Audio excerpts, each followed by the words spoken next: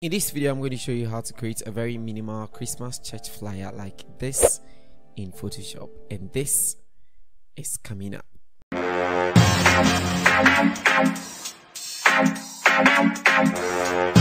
Hi everybody, Innocent here and welcome to the channel. Over here, we make videos like this. If that is something that sounds like you're interested, kindly consider subscribing.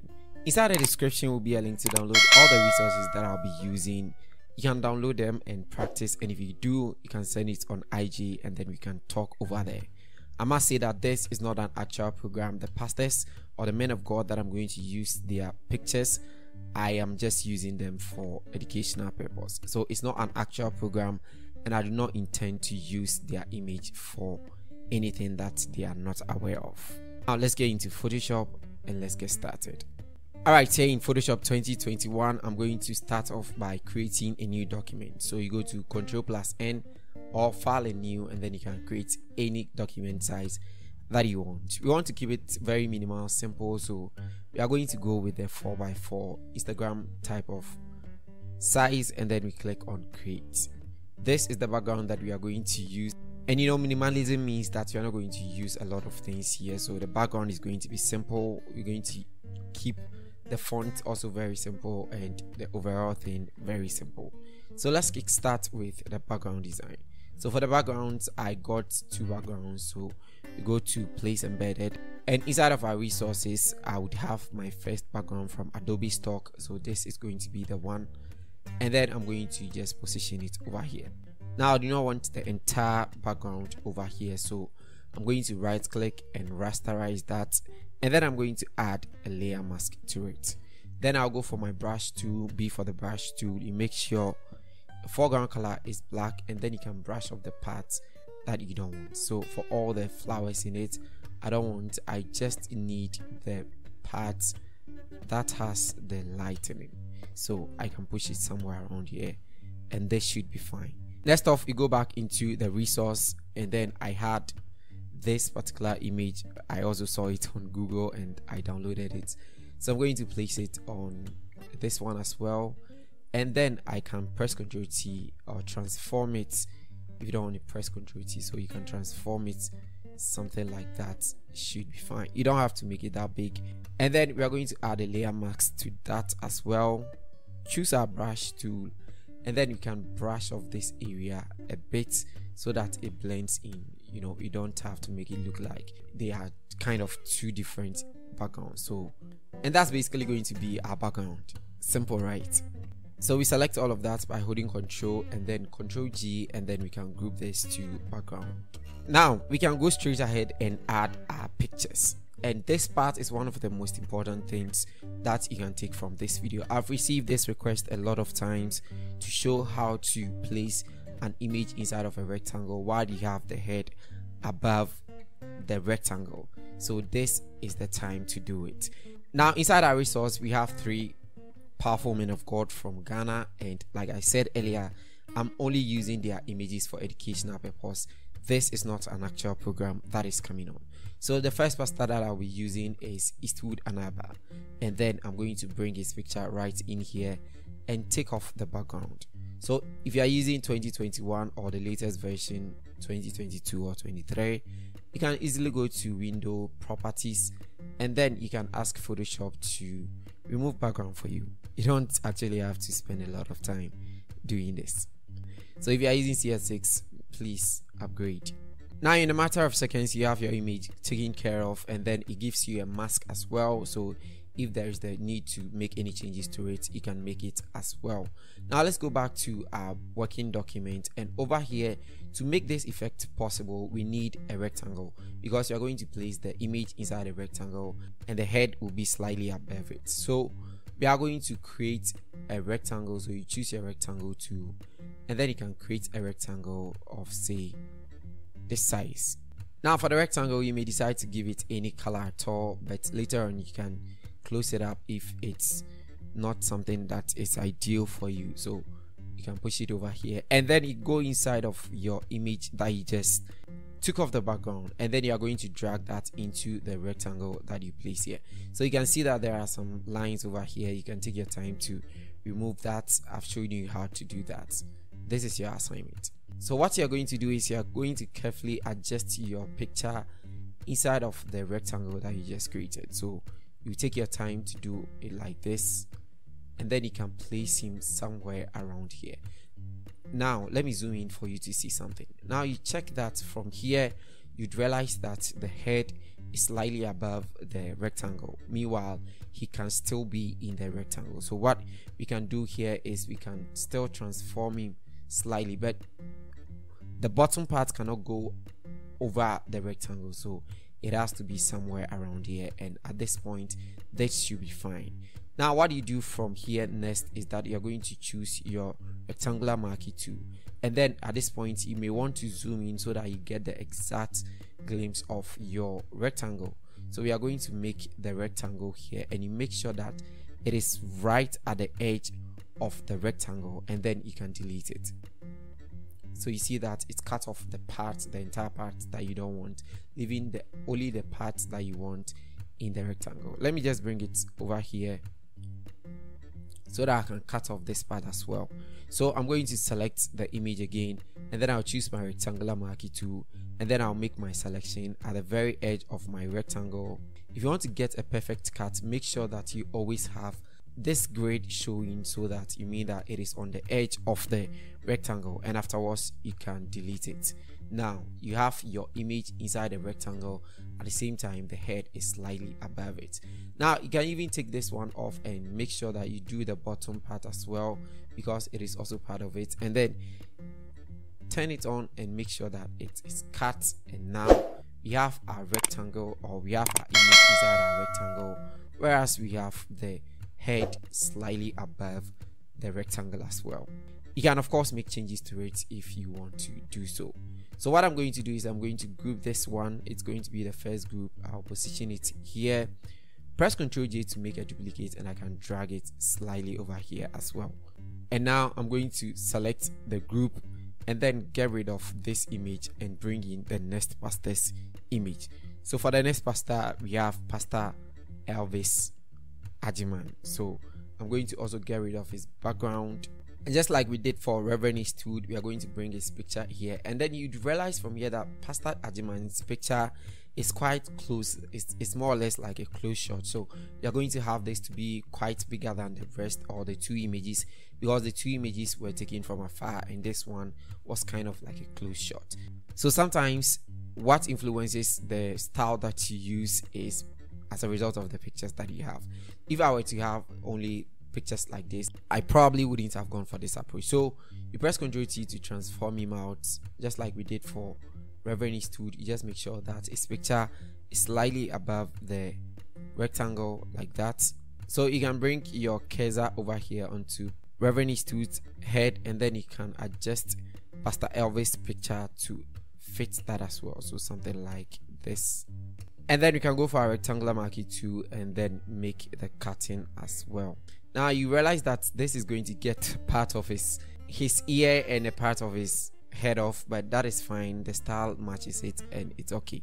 So you can just do your cutting and you don't have to worry about the police coming to catch you. And now we can make one more duplicate and then bring in the next pastor's picture. So you make your duplicate control j and then you bring it over here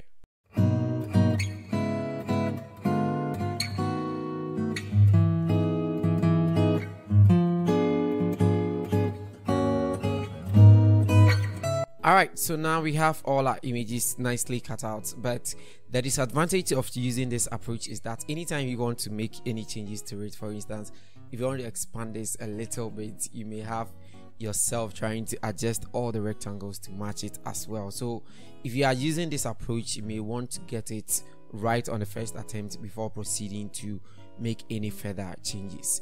So once you have this done the next thing we want to do is we want to adjust the backgrounds to match the outfit so that it looks better. We can't give them these backgrounds so we are going to select the background for each of them or the rectangle for each of them. So pastor eastwood Anaba's image for instance.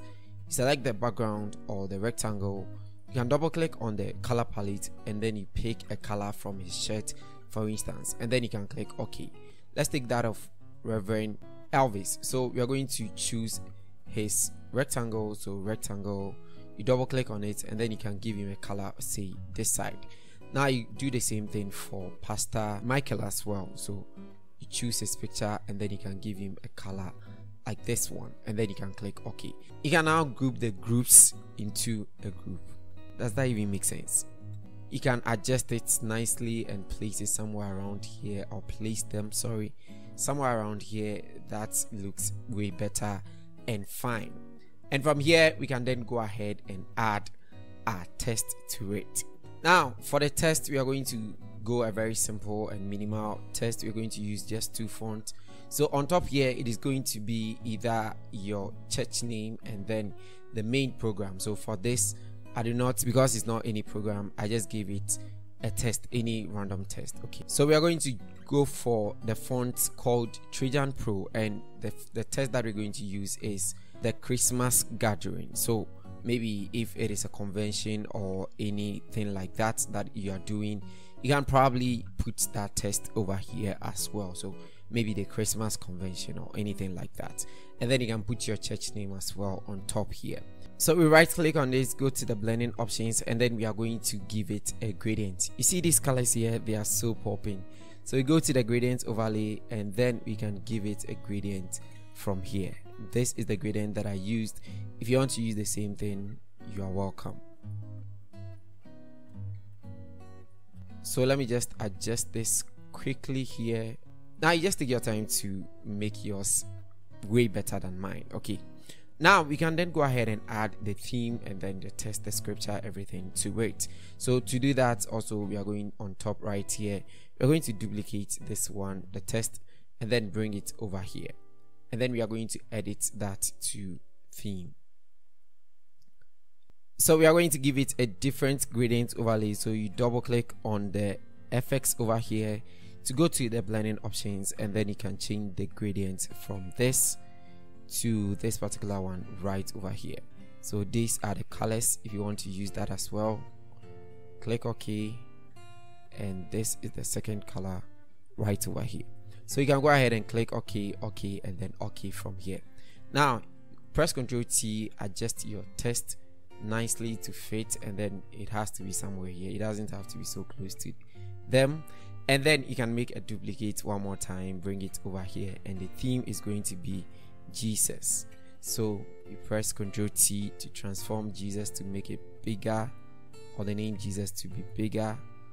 And then you can close it up over here. You can then make one more duplicate edit this one to the reason for the season and then you can press ctrl t to transform it and make sure that they are all aligned perfectly. So something like that should be fine. Now after this you need a bible verse to support this. So to do that we're going to create a rectangle. So create a very simple nice rectangle over here. And then we can right click go to the blending options and then we are going to apply the same gradient on top of this as well. Now on top of that we are going to put in the text or the scripture that we will use. So for that we cannot use the color black. So we are going to change the color to white. Press ctrl t and then you can transform it nicely to fit the rectangle that you just created. So and now i probably would have to open my rectangle a little bit to fit this whole one. Remember we are going the minimal way. So from here the next thing we want to do is we want to create one more rectangle right underneath here. And then we are going to put in the date and then the time. So for that rectangle we are still going to use the effect from the rectangle on top. So you can hold alt and drag the effect onto the rectangle that you just created. So it gives you this effect as well. So on top of that we are going to add our date and then our time. So you can put your date and then your time right over here. And for this font remember i told you we are using only two fonts. You are going to go for poppins semi bold or semi bold okay so we take our time to position it right over here. And for the date i want to make it a bit bolder so i can go for extra bold and then increase the size a little bit like that so that it stands out. And then if this were to be an actual program you can place your church venue over here. So your church venue will be over here. And on the left side we are going to put our time there. And if there are some more directions or any other information that you want to put over there you can just make time or you can make space for this and then for instance if you were to put like contact you can put it over here and put your date in between. But since i don't have any much information for this and i'm just freestyling this it came out of my head i'm just going to add a rectangle over here. And then you make sure that it is at the top here a bit. And you remember the gradient that we added to this right? We can come right over here copy the layer style and paste it on this rectangle that we just created. So paste layer style and then you'd realize that it has been pasted over here. And on top of that we can add our time. So let's make a duplicate of this test push it to this side and then type in say 6 to 9 p.m all right so let's say 6 to 9 p.m each night. And then this is too much so let's reduce the size of the night. And with the help of the leading and kerning you can easily close it up like that as well. And then you press ctrl t to open it up to fill the entire rectangle that you just created. And you can keep it like this if you want but if you don't want you can actually add this gradient on it and then you're going to have something like this. I do not really like this one so let's go into the gradient and let's try to find something more dark that can show it out. So let's go for this one. I think this one works best and then we click ok. So at this point what you're going to do is you're going to select this the rectangle and then the date and then the venue. And then you can group that press ctrl a and make sure that you center it so that it will be in the middle of this particular rectangle that you created over here. And like i said earlier i think my images are too big so let me just close them up so that i'll have space to input or insert their name so for this part we're going to just input the pastors names right over here. So underneath of the images we are going to choose our test tool and we go back to trajan pro. So we are going to basically type in their names. So the first pastor will be reverend Eastwood anaba. So you press ctrl t and then you can transform his name nicely to match his picture like that. Okay. And then we make one more duplicate drag it to the next side. So we have pastor elvis Agyemang also here you can even drag it down like that. And then you make one more duplicate. And then you are going to have a pastor eric Boadi Nyamekye also over here. So now we're done with the images. The next thing that we want to do is a few touch-ups add some flare and then some shadow to it. So for the images part we are going to add a flare to it. So on top of the image section over here or the image group we go into our resource so file place embedded and then we have this particular lens flare over here. So you can double click on that and then import it inside of photoshop. Now let me just give this a new name right over here. Go to your blend mode and then set this to screen. What this is going to do is is going to get rid of the background and then or the black background and you are only going to find the flare over there. So one thing about flares is that the more you open it up the more it's brightens. So we can open it up slightly like that and place it over here. So we make one more duplicate and then we can drag it over here. And then you can position it somewhere around here. Or let's even try to bring it down slightly like that. And this one too now underneath of this one we don't want it to be hanging like that. So we can select this rectangle. Beneath it we can go for our ellipse tool and try to create a very simple ellipse like this. So we want to create a bit of shadow underneath of this one. So let's double click on this and give it a color black. And then we can position it somewhere around here. Now we go to filter blur and then Gaussian blur.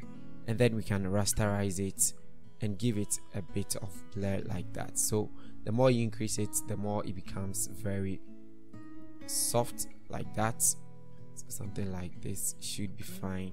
And then you click ok when you get the desired results that you want. So you can still press ctrl t to close it up a little bit so that it becomes more realistic and very nice. And afterwards you can make one more duplicate and, and send it right over here press ctrl t and then you can close it up. Take your time to position it. It has to be under this particular rectangle. So what you are going to do is you are going to drag it underneath of that rectangle and then we can bring it down like that. And now you have a shadow also created for this one as well.